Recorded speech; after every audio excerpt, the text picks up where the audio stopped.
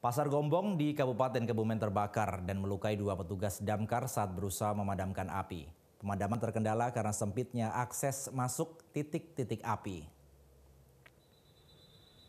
Si Jago Merah membakar ratusan kios dan los Pasar Gombong Kebumen sejak Kamis dini hari.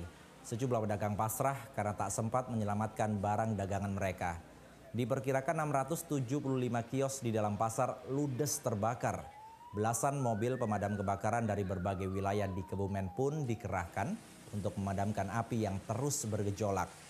Hingga pukul 10 pagi api masih belum bisa padam. Dibantu warga, petugas damkar berusaha menerobos titik-titik api yang tersebar di sejumlah area. Sempitnya akses jalan membuat pemadaman terhambat. Bahkan akibat insiden ini dua petugas terluka saat berusaha padamkan api.